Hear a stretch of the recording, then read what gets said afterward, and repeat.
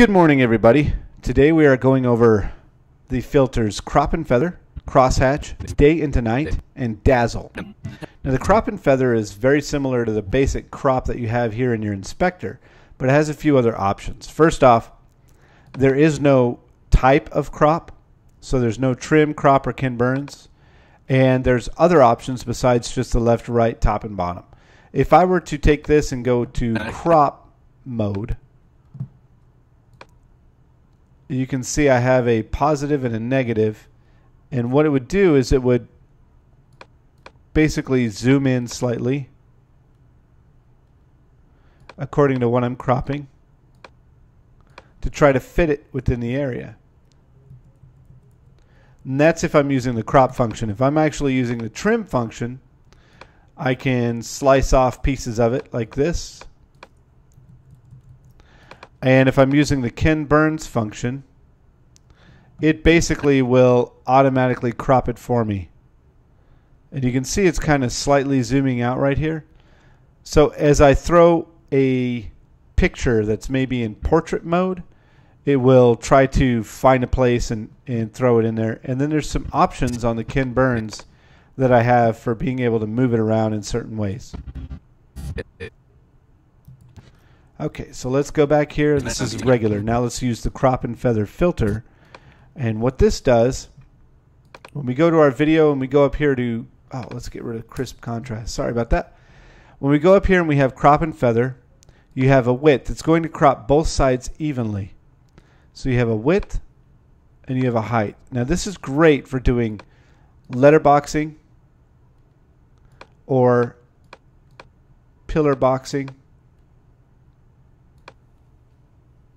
so on and so forth.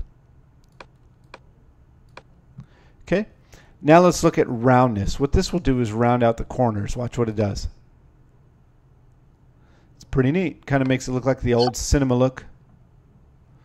All right, and now we have feather.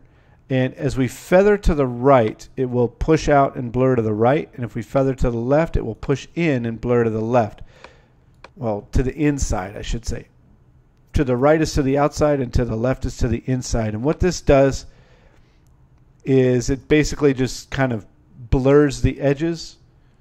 And you go inside or outside. So if you're if you want to feather it here and you want this to come back, if you bring your width in and your height down, and feather to the right, you can see what it's doing there.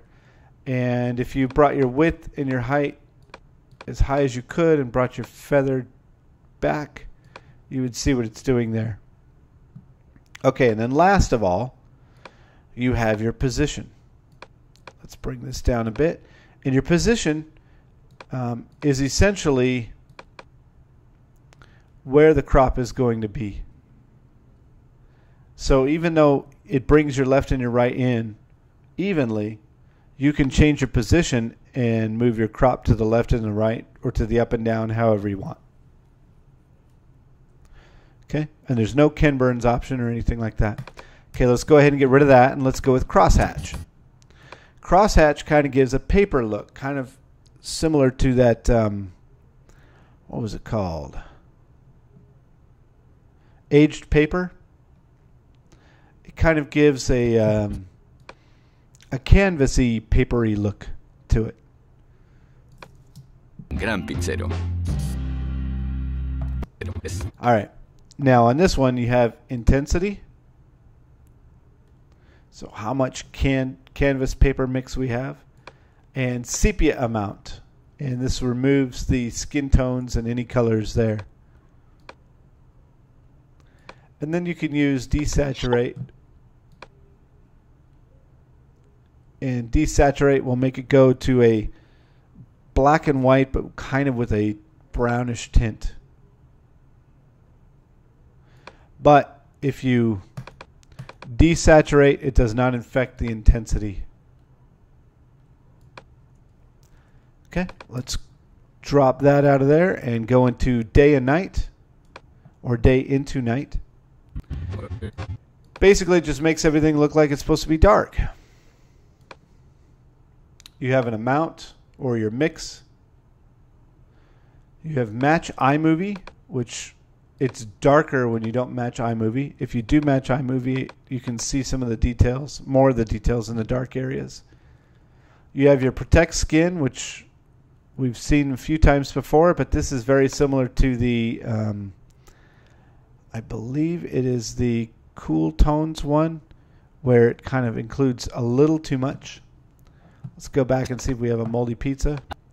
Not really. On this one, you don't have a moldy pizza as much.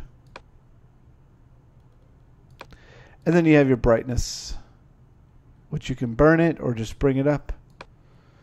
Make people think that you are working at night with all this brightness.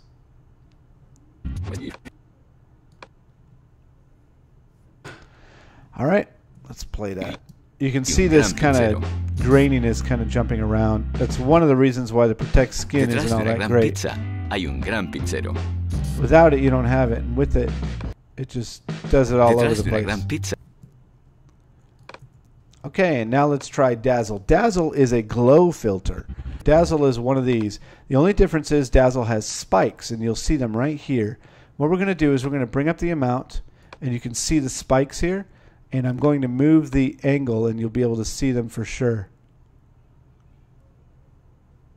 Okay, so what it does is it finds objects that are highlights and puts this really bright glow around them. All right. Now, there's a color here, and the color does not affect the glow. The color affects only the tint. So if you turn this option on, it will tint the color of whatever you put here. So if I choose blue, now everything's tinted blue. But it does not affect anything once I turn the tint off. Okay, we have an amount, we have an angle. We've already gone through those two. So let's go with brightness. Brightness affects whether the glow is really bright or really dark because you can go that direction too. Although you won't see much of a dazzle in the darkness, you do kind of right here. You can see some spikiness. See it rotating? And here around his lips and his nose, it was doing it as well.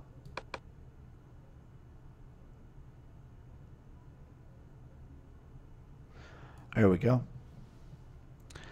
All right. So our brightness affects how bright the glow is, how much burn or how much crunch we have. And the threshold affects what our brightest point is. So for example, if I just want this little highlight right here and these highlights to be highlighted, you can see the dazzle star kind of turning. And if I wanted everything to be really, really bright and washed out, but not so bright, maybe have a starker contrast, that'll do it right there. All right, and spike count basically just makes that count go up.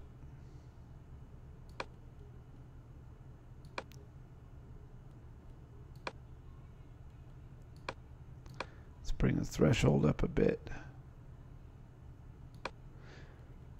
Okay. So those were those four filters. We had crop and feather, crosshatch, day and night, and dazzle. Let's go ahead and toss that. All right, if you have any questions, feel free to send me a message or leave me a comment. And I'm going to continue, and my next lesson will be decal, desert glare, directional, and draw mask. These are kind of fun. They'll take a little bit longer. All right, thank you very much for watching.